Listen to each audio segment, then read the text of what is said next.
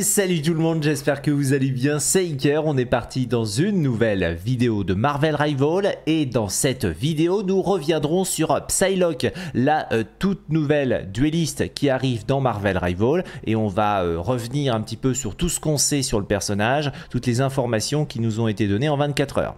Alors, euh, ça commence tout d'abord par un tweet sur enfin sur X, euh, un tweet officiel où on nous dit Elle a été arrachée à sa réalité par l'enchevêtrement du flux temporel. Désormais, la redoutable guerrière féodale Psylocke est prête à frapper dans Marvel Rival.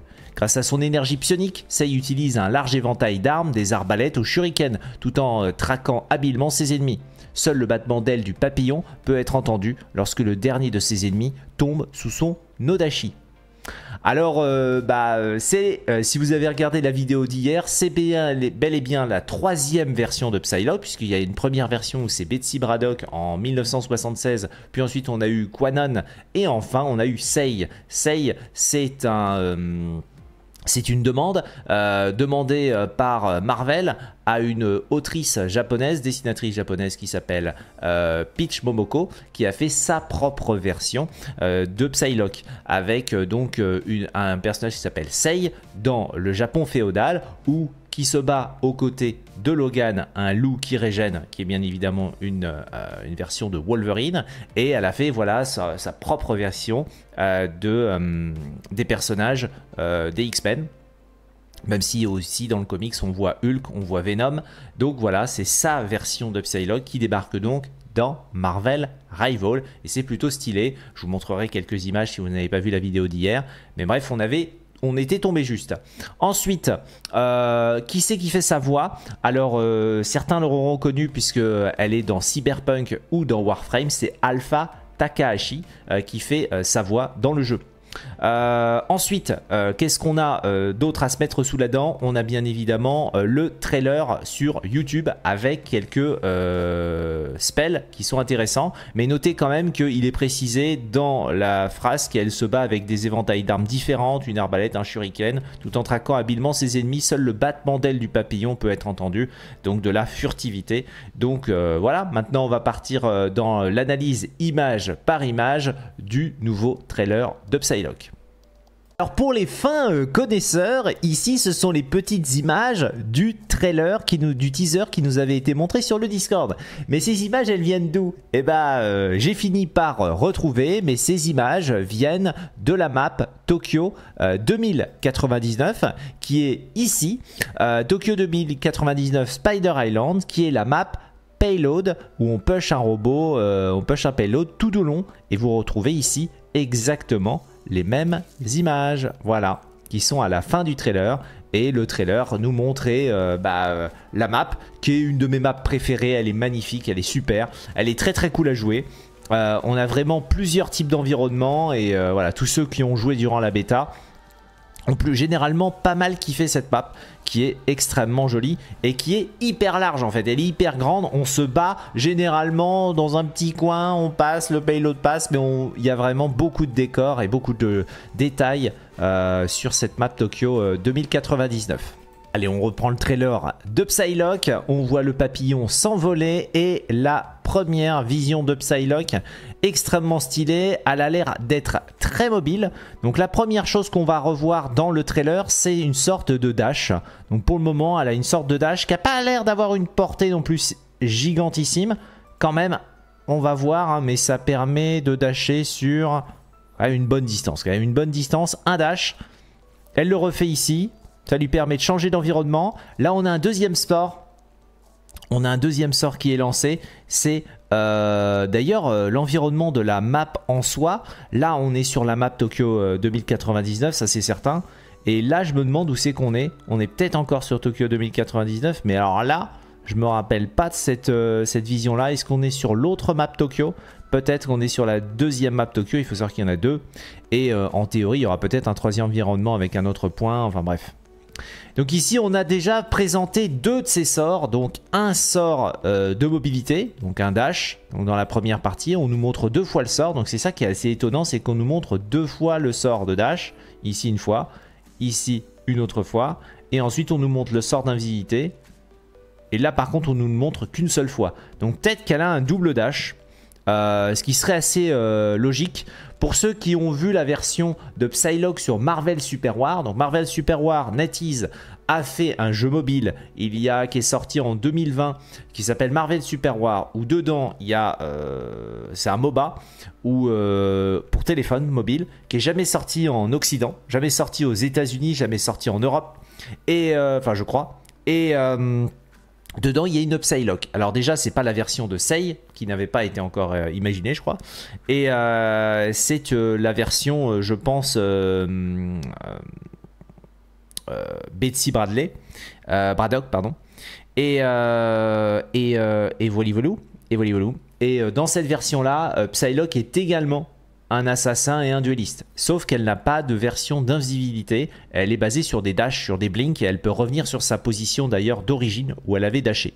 Voilà un petit peu si on devait donner comment elle avait été dans Marvel Super War.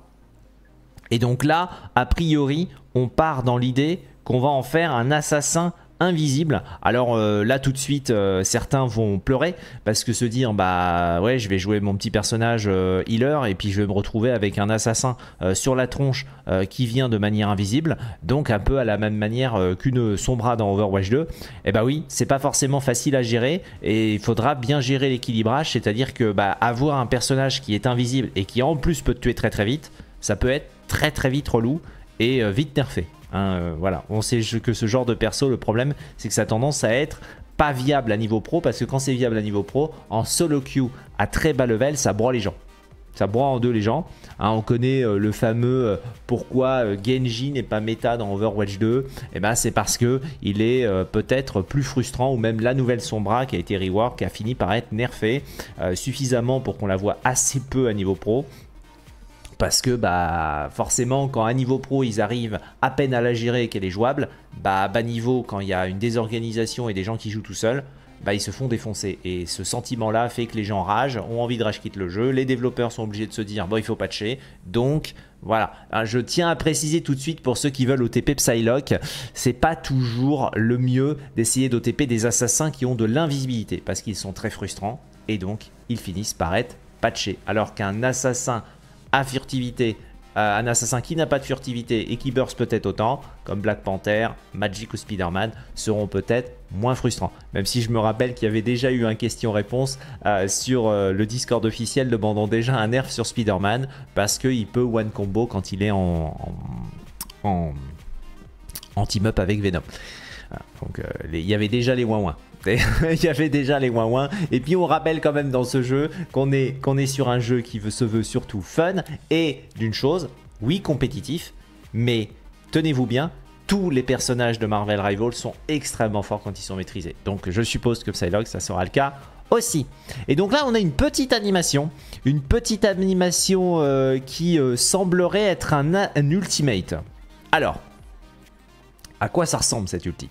Cette ulti, est-ce que c'est une Blade de Genji? C'est-à-dire, est-ce que tu as euh, le contrôle du personnage et donc tu vas sur la cible que tu veux? Ou est-ce que c'est automatique? Alors, déjà, si c'était automatique, euh, ça viendrait de où? Ça viendrait de l'ulti Juggernaut dans Dota. Euh, certains diraient bah Fiora, oui Fiora aussi dans League of Legends a eu un ulti comme ça où c'est un ulti où elle se met à dasher dans tous les sens et en fait elle choisit une cible et après ça part en dash sur chacun et ça met un coup puis ça finit par revenir etc etc. Donc euh, est-ce que c'est un ulti de Juggernaut ou est-ce que c'est un ulti où tu as le contrôle? On voit que elle fait quand même un move qui humainement n'est pas facile hein, euh, puisque elle arrive de face elle arrive de face et elle frappe dans le dos. Ouais, voilà. Là, on a une sorte d'animation d'ulti qui est magnifique d'ailleurs. L'arrêt sur image incroyable du Débilos. Là, eh, waouh, c'est joli, très joli. Euh, et donc là, elle dash. Et vous voyez, elle dash à travers et elle met un coup de katana. Donc ça ressemble, euh, ça, bah, ça ressemble à une blade de Genji. Hein. C'est ce qu'on doit faire avec Genji. Hein. Ulti, euh, derrière, dasher, en taper, dasher en visant le sol, se retourner et mettre un coup de katana. Donc ça ressemble beaucoup à une blade de Genji. Mais est-ce que c'est une blade de Genji automatisée ou est-ce que le joueur... Parce que regardez l'enchaînement.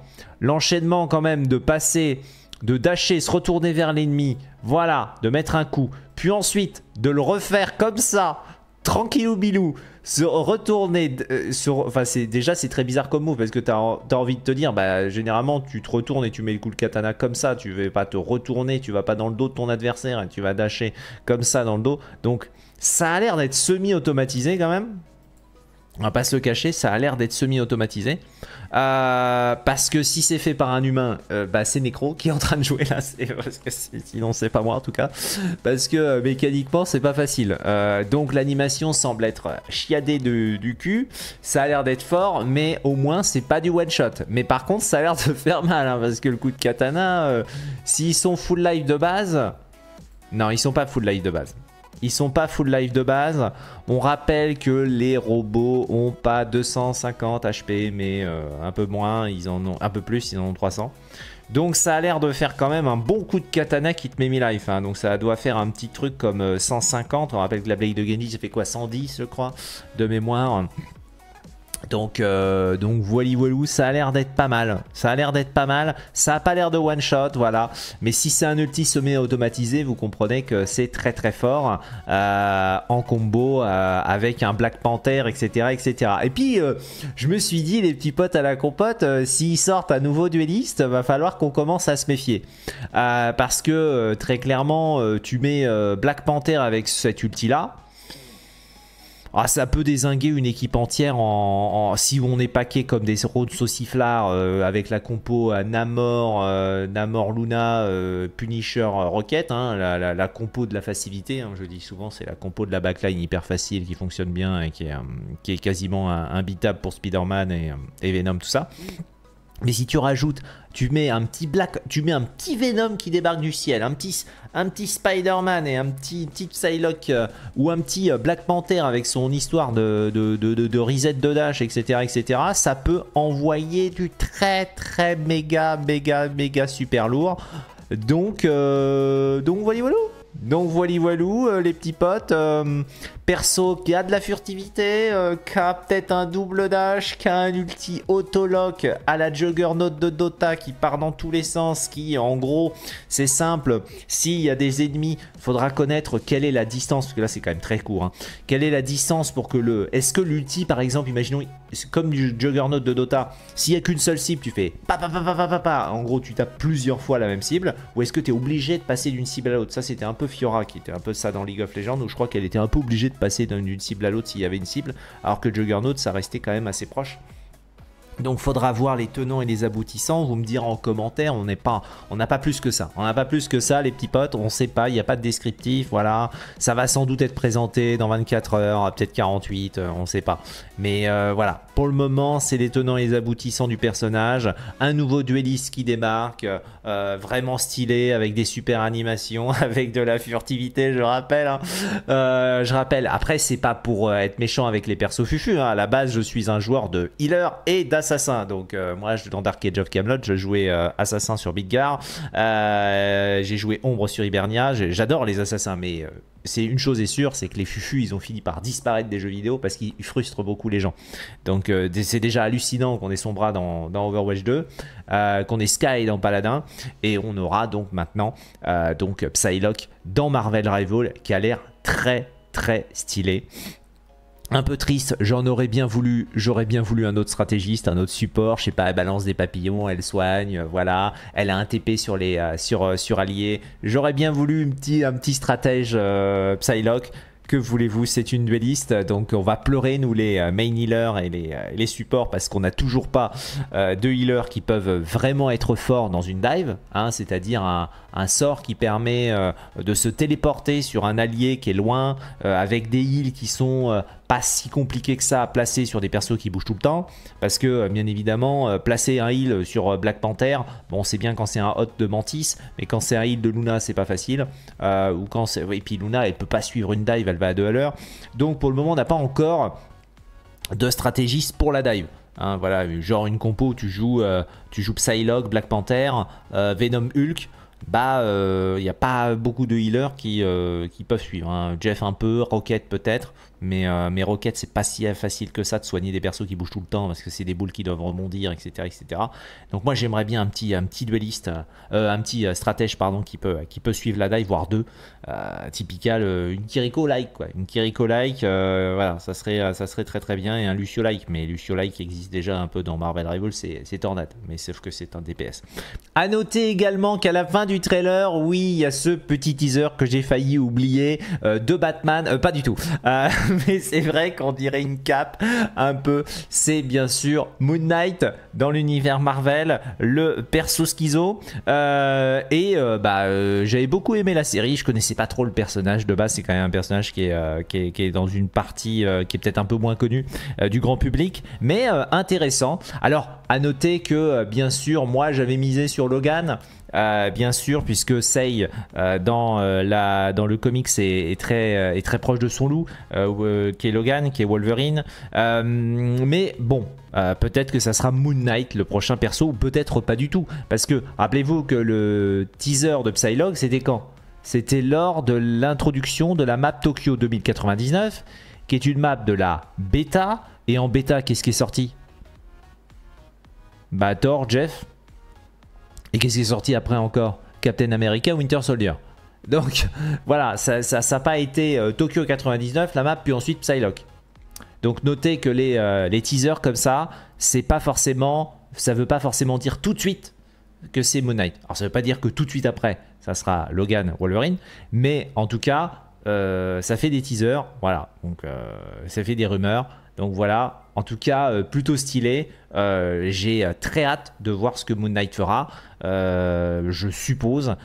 c'est un personnage qui, sera, qui aura plusieurs facettes. Donc ça peut être intéressant de voir comment ils vont le mettre dans le jeu.